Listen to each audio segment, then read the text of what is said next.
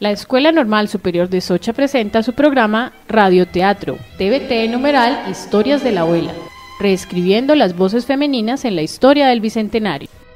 Estefanía Parra, la guía en el puente de Boyacá. Ay señora, ¿y tenemos alguna otra heroína boyacense? Claro que sí, mi niña. Podríamos pasarnos varios días nombrando, por ejemplo, a Genoveva Sarmiento, quien ayudaba suministrando alimentos.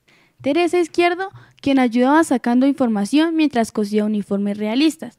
O Juana Ramírez, espía patriota, que junto a otras mujeres formaron el invisible ejército de legionarias llamadas las Juanas, y otras tantas.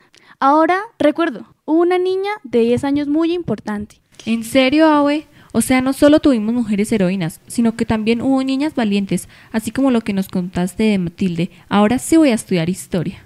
Sí, mi niña. Y vamos acabando, porque ya se está oscureciendo. Esta es la historia de Estefanía Parra. Esta noble niña fue fundamental para derrotar a los españoles en la batalla final. Estefanía, mijita, atisbe el fogón para que no se queme la mazamorra. Bueno, mamá. Voy a ordeñar la vaca y me tiene todo listico para poner la molla. Sí, señora madre. Ayer dijeron los vecinos que el general Bolívar viene para los lados del puente. Pero no se me vaya a arrimar por allá, Estefanía. Eso es peligroso, ni a mirar por esos lados. Pero madre, usted sabe que yo conozco estas tierras mejor que nadie. ¿Qué tal si necesitan salir porque lo rodean o para alcanzar el camino de Samacá y alcanzar a los realistas? Yo sé, mija, pero no se puede arriesgar así. Me hace el favor y tiene todo listo. Usted sabe que podemos venderles de comer a unos y otros. Me voy a traer unas cosas a la tienda de la comadre.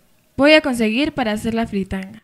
Se dice que Bolívar buscaba cortar el paso a Barreiro para que no llegara a Santa Fe y consiguiera refuerzos.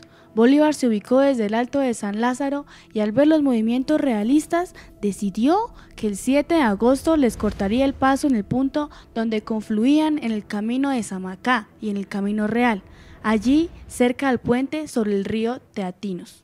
Se ve que los hombres ya vienen llegando por el camino real. Le voy a pagar a las ollas y me vuelo cerca a los materrales antes del río.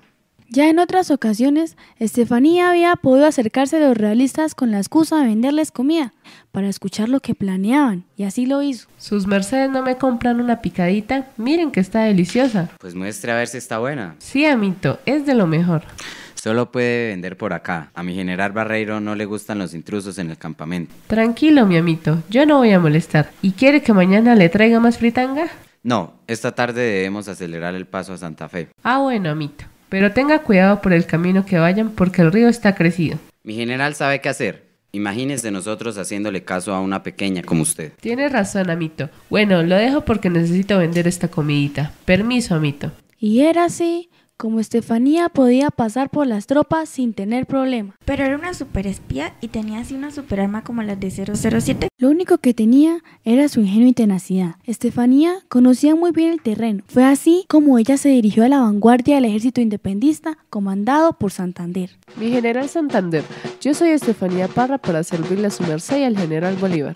Gracias muchacha, toda esta ayuda es bienvenida. Pues mi general, yo vivo de para allá de ese Picacho y conozco estos terrenos como la palma de mi mano. Me sé de toditicos los caminos y he escuchado lo que planean los españoles. Excelente, muchacha. Tú serás nuestra guía. No podemos permitirnos que los realistas lleguen a Santa Fe. Esta es nuestra oportunidad de triunfo.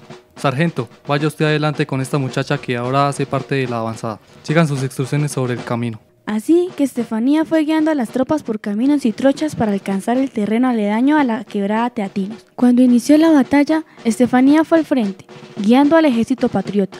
No temió las balas ni las lanzas, recorrió las orillas del río, señaló un vado por donde pasaría la caballería que atestó el golpe para asegurar la victoria en el puente.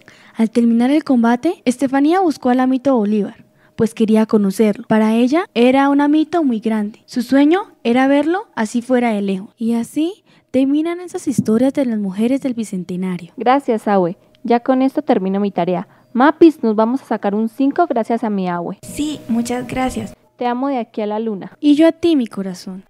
Un agradecimiento especial al párroco del municipio de Socha, José Flaminio Herrera Cañón, por el préstamo de las instalaciones de la emisora Cóndor Estéreo 94.1, a don Héctor Botía, locutor y padre de familia de estudiantes de la Escuela Normal Superior de Socha, y al señor rector especialista Darío Alonso Medina. La Escuela Normal Superior de Socha presentó su programa Radioteatro TVT numeral Historias de la Abuela.